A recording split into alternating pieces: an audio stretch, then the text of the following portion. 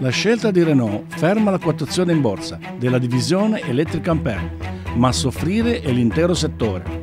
L'elettrico a quanto pare non decolla. Il gruppo Renault ha annunciato che Ampere, la divisione dedicata allo sviluppo software e alla produzione di veicoli elettrici, non debutterà in borsa. Il lancio era in programma nella prima metà del 2024, ma era stato rimandato in precedenza. Ma la realtà è che il mercato non decolla e non soddisfa gli interessi del gruppo Renault e i suoi azionisti e di Ampere. Non pare il momento appropriato. A mio parere, l'introduzione brusca e imposta e soprattutto a caro prezzo, senza contare la mancanza di colonnine e problemi di autonomia, lascia incerti i futuri acquirenti. Il CEO Luca De Meo a novembre aveva promesso che Ampere era ben posizionata per raccogliere la crescita del mercato europeo dei veicoli elettrici, ma qualcosa è andato storto.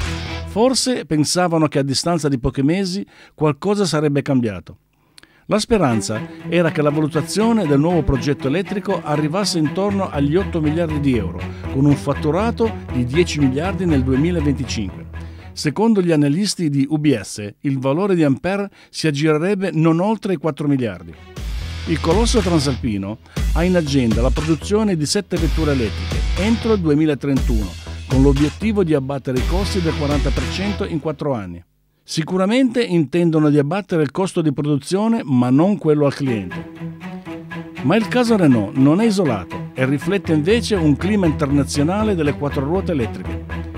Diciamo in modo semplice, senza i dati di borsa, le auto elettriche, spinte dall'ideologia green, è stata troppo precipitosa e tutte le conseguenze che comporta per l'utente. I casi di incendio, rifornimenti non ancora al top, assicurazioni elevate, il costo vettura, manutenzione costosa, non ne fa un prodotto ambito.